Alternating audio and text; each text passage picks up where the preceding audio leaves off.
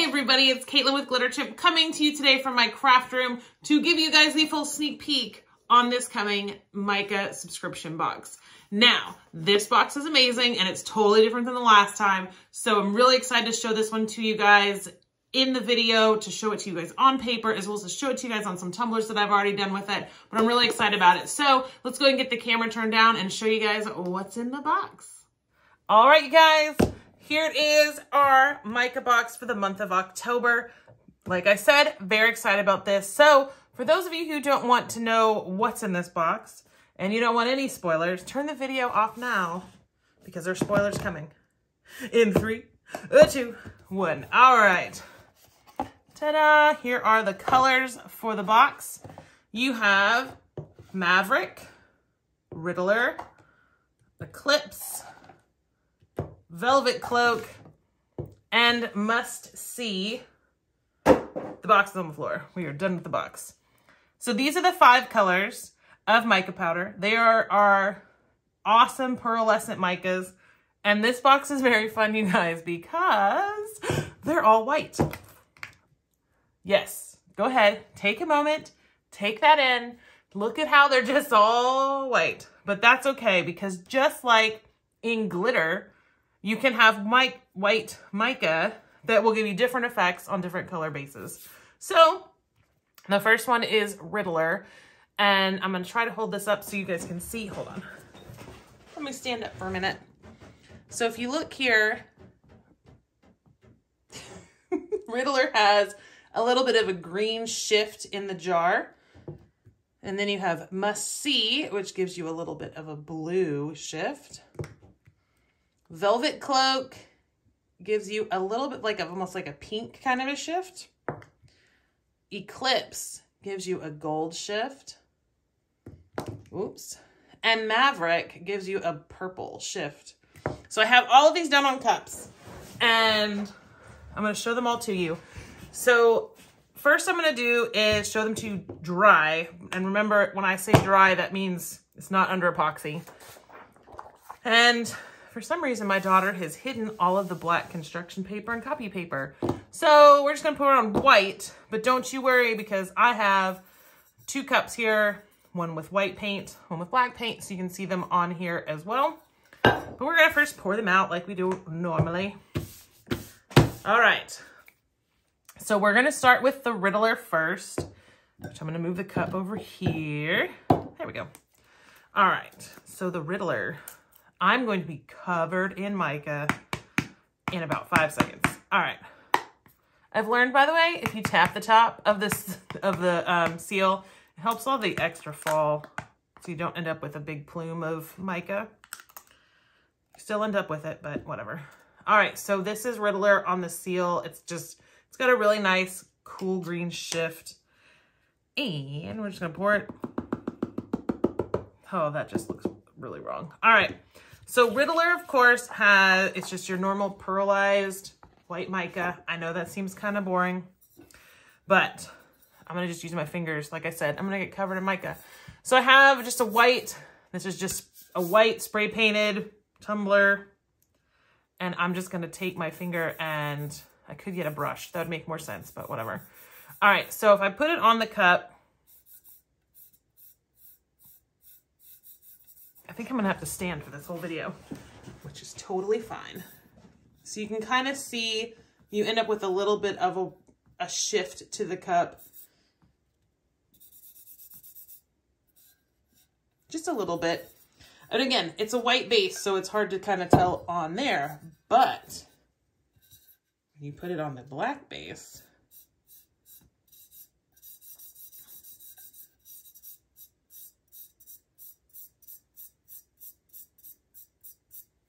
you can really start to see the color shine on there. And you can see the cool green shift. You wipe that on my pants. So this, though, is what it looks like under epoxy. And this is just a cup that I did white white spray paint here, black spray paint on the bottom here. Glitter stuck to the bottom, of course. So you can see how on the white, you just get a subtle green shift. And then, now there's glitter on everything. Um, and then on the bottom where it was a black base, you get that really nice green shift.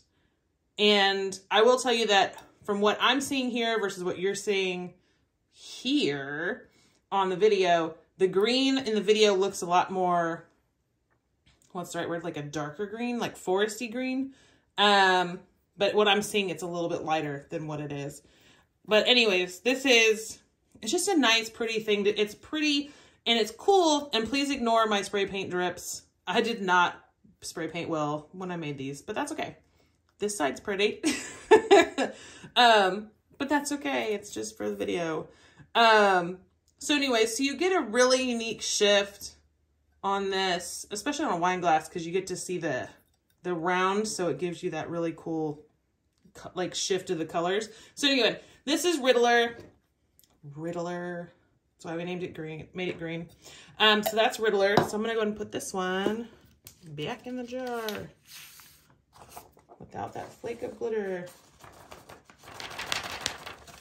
And these will be really cool like on Milky Way tumblers and stuff because you can kind of match the the white mica that you would normally use as a, just a white and match it to the color of the actual shift of the, I'm sorry you guys, I can't talk today. The words, Caitlin. The glitter. God, this is so bad. All right. Must see is going to be a blue. White shift that goes blue on a black base.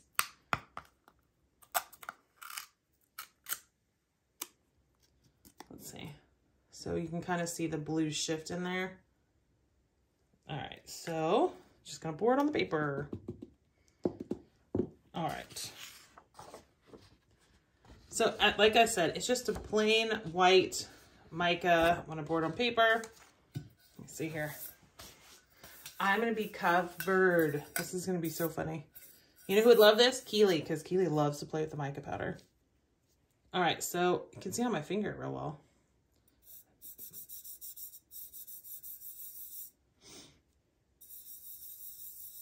All right, so you can see the blue shift in there just a little bit, but once it's under epoxy, it really brings out the shifting in the color. But on the black base, whoop,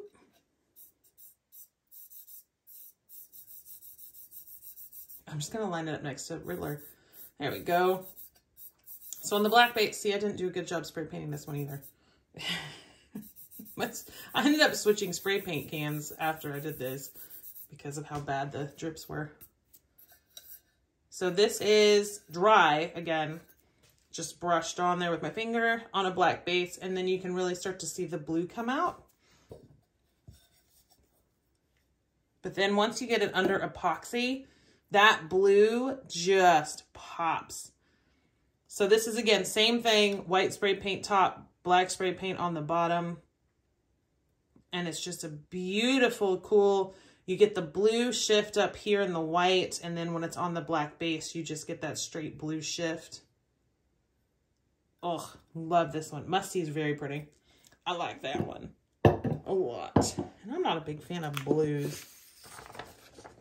They get used a lot. A lot, a lot. I do a lot of cups with blue. but red's my favorite. Again, so okay. Go back on there. So, oh goodness, y'all. I'm like so awkward today because I'm having to stand and everything. All right, so this is must see. White base, black base. All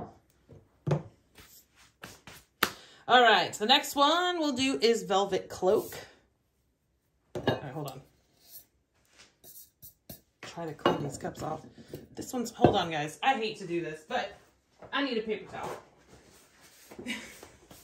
Because my hands are getting covered in mica. All right. So, okay, Velvet Cloak. It's got a little bit of a pink kind of shift. I think, I mean, again, it's, we named it Velvet Cloak because it's more of a velvety color.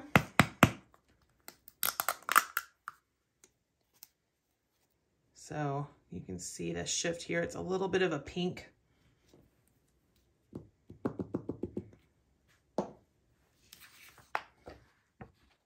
can just see the sparkle here. Gorgeous sparkle. Love that way. And I gotta look. Okay. Yeah. So that's velvet cloak. Okay, so velvet cloak on a white base.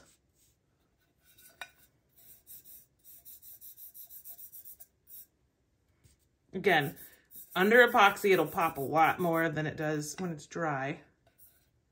So you can kind of get that little shift here. But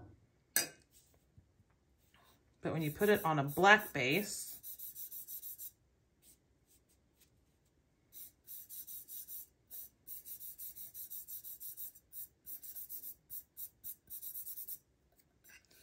you can really start to see that color come through of a pink. This one's like extra sparkly. All right, so that's it on a black base dry. And then once you put it on under epoxy, you end up with this really cool purpley pink shift that looks kind of like velvet colored. And then on a white base, of course, you end up with the same, that light pink in there. Just turns out really cool. Again, it's a huge difference between when it's dry versus wet. And all I did to apply this on here was use, um, oh my gosh, Caitlin, words. I used Tack It and just tacked it, tack it and then brushed it on there so it would coat it evenly. So that is um, Velvet Cloak. back in the jar.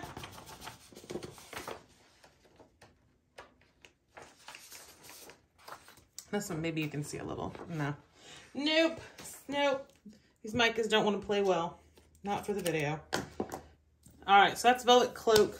Let me get the lid back on. And again, here you go. Super pretty. I love when a color can surprise people. Like these are. All right, so next we're to do Eclipse. There we go. So Eclipse is the one that is white with a gold. Um, whoop, that one kind of went poof. So you can see it's got that gold shift to it. All right, so here we go. You can see it now. The pearl shift to it, or you can just see it floating around the room. All right, hold on, let me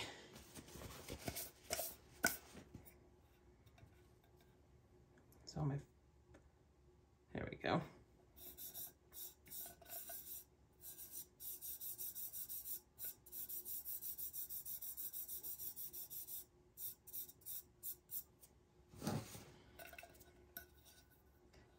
Can start to see the gold pop through on the white base. But then once you get it on the black base,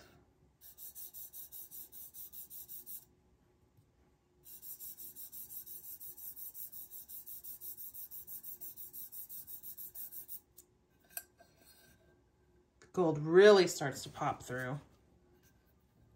And then, let me see, let me make sure I grab the right, there we go. And then this, sorry y'all, they're static today, is the gold on a black base. And this is of course the same color on a white base. And it's just so cool because you get such an interesting shift in the colors. Such a, it's a good gold too. That's what I like about it. And I love it. you can see the gold up here on the white. Gives you a real nice pearlescent look. And then you get the gold straight up on the black base. All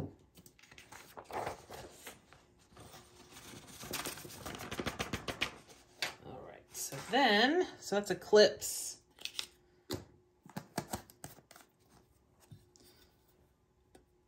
Right there.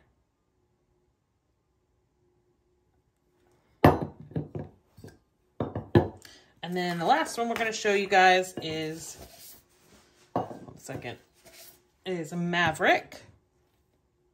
And Maverick if, does, it's white, and then the shift is purple.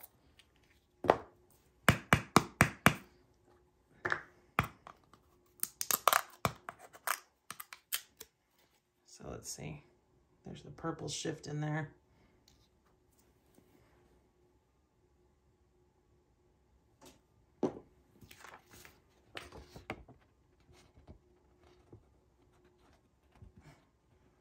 Kind of a weird thing to show. Keep showing you white mica.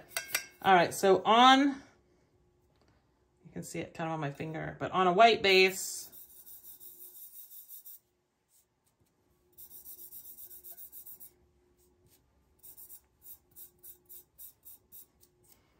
you're going to end up with that slight purple shift to it. But then when you get it on a black base,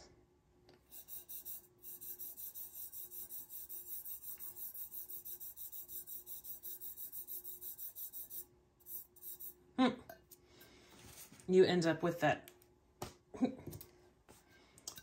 purple shift.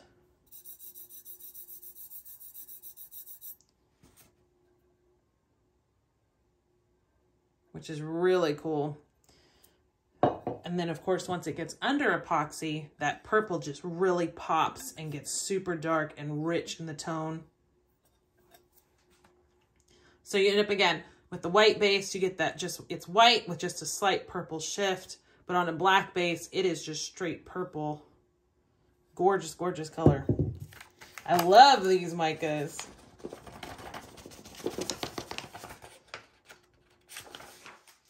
That's my last paper anyway. So, and that, so this one here is Maverick. Love these. These are so fun, y'all. So let me see if I can do this and lay them so you can kind of see them all out together. This will be fun if they stay where they're supposed to stay.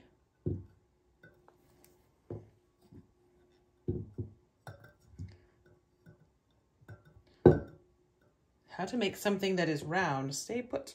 All right. Trying to make sure they all fit in the video. All right. So you have, let me move some stuff. I'm going to make as much noise as I can.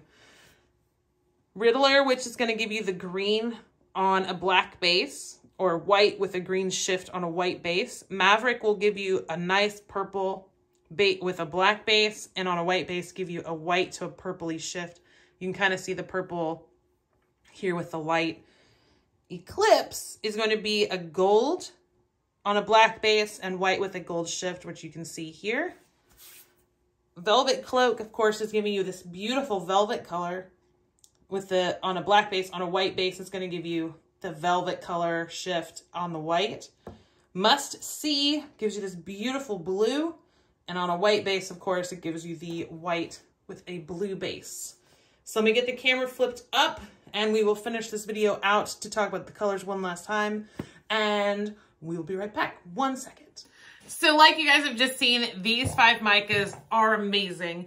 Um, I like I showed you, and I'll show them all to you again very quickly. But the way that they shift on white to black is amazing, which is really cool because then if you put them on other base colors, you're going to get different colors and tones and stuff, and it'll be really cool.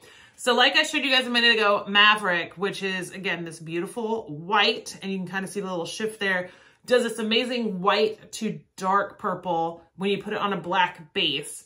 And it's cool because you get kind of like a really cool chameleon effect without the crazy cost of a chameleon, which is really nice. But again, it just looks really cool. And it's funny because you can see the light reflecting off the window again, but that's okay. So anyway, so this is Maverick again.